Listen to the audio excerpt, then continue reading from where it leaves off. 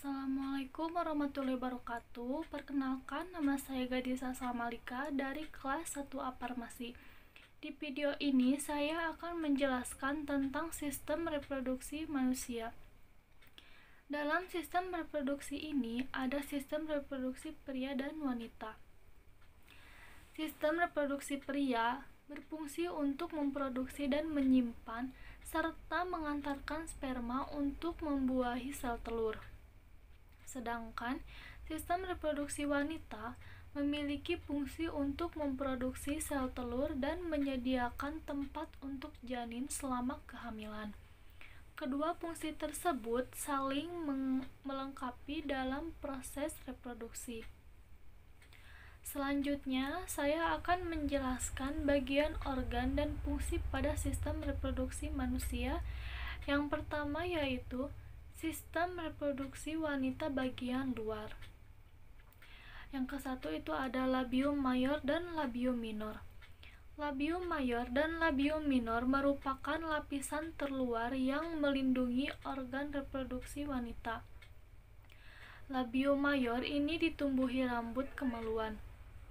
Pada labium mayor terdapat cairan lubrikasi yang dihasilkan oleh kelenjar keringat dan kelenjar minyak. Sedangkan labium minor berukuran lebih kecil dan letaknya jauh lebih dalam dari labium mayor. Yang kedua yaitu ada klitoris. Klitoris merupakan tonjolan kecil yang sangat sensitif terhadap rangsangan. Klitoris ada di bagian atas pertemuan labia mayor dan labia minor, sama seperti penis pada pria.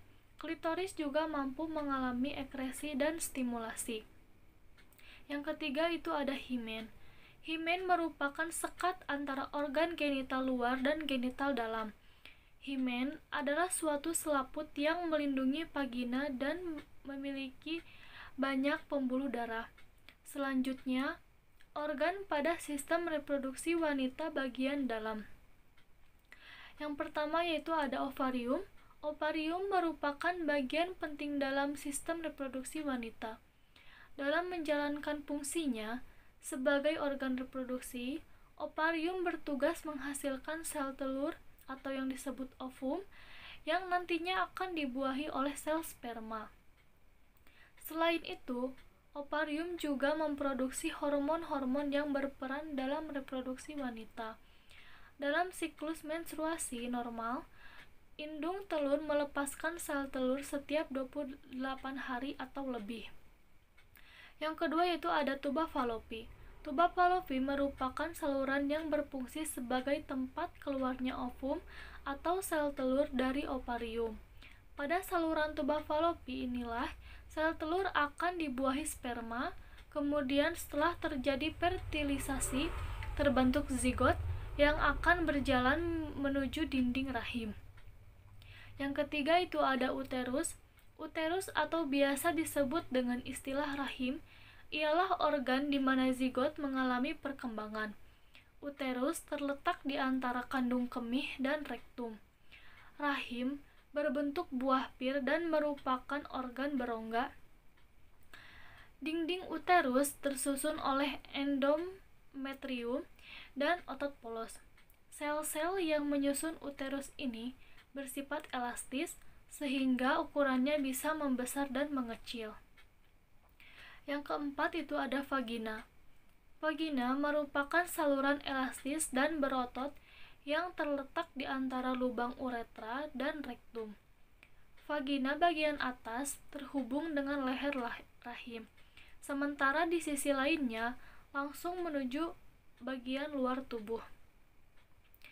Saat berhubungan seksual, vagina akan memanjang dan melebar untuk menerima penetrasi.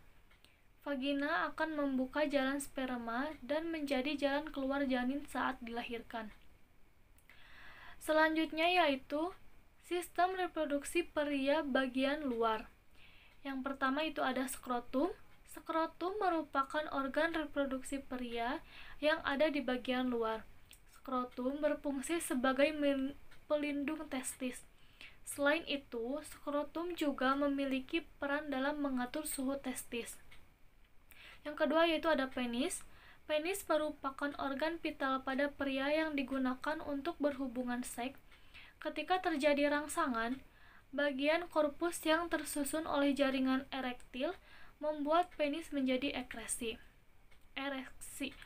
Penyebabnya karena adanya aliran darah yang memasuki jaringan tersebut. Selanjutnya yaitu ada sistem reproduksi pria bagian dalam. Yang pertama yaitu ada testis, Testis juga disebut dengan istilah buah zakar. Testis merupakan organ reproduksi pada pria yang menghasilkan sel sperma dan hormon yang berkaitan dengan reproduksi pria. Testis terletak di dalam skrotum dan dilindungi oleh skrotum. Yang kedua itu ada epididymis. Epididymis adalah sebuah saluran panjang dan berkelok-kelok yang memiliki fungsi penting dalam sistem reproduksi pria. Epididymis disebut sebagai tempat pematangan dan penyimpanan sperma. Setelah sperma matang, sperma dikeluarkan dari epididymis. Yang ketiga itu ada past deferens. Past deferens merupakan saluran yang menuju kelenjar prostat. Dilihat dari penampang anatomi, pars deferens merupakan saluran lanjutan dari epididymis. Pars deferens ini berfungsi menyalurkan sperma menuju kelenjar vesicula seminalis. Yang keempat itu ada saluran ejakulasi. Saluran ejakulasi merupakan saluran yang menghubungkan dari pars deferens sampai uretra. Uretra merupakan saluran untuk mengeluarkan sperma dan urin menuju penis. Jadi, ekresi urin dan sperma keluar melalui saluran yang sama. Dalam sistem reproduksi, ada beberapa kelainan yaitu di antaranya HIV dan AIDS. Penyakit yang cukup dikenal oleh masyarakat ini disebabkan oleh virus HIV, Human Immunodeficiency Virus, yang mengakibatkan sistem kekebalan atau imunitas tubuh manusia menurun. Gejala-gejala penyakit AIDS ini di antara lain mudah lelah, berat badan menurun, diare terus-menerus, sesak napas, dan batuk berkepanjangan. Terdapat lebih banyak lagi kelainan pada organ reproduksi manusia lainnya, sehingga menjadi penting untuk menjaga kebersihan organ reproduksi agar terhindar dari penyakit yang disebabkan oleh bakteri, jamur, maupun parasit. Lantaran, penyebab utama dari penyakit organ reproduksi manusia karena kurangnya kebersihan organ reproduksi dan gaya hidup yang buruk. Sekian video dari saya. Mohon maaf apabila ada kesalahan kata. Terima kasih atas perhatiannya. Wassalamualaikum warahmatullahi wabarakatuh.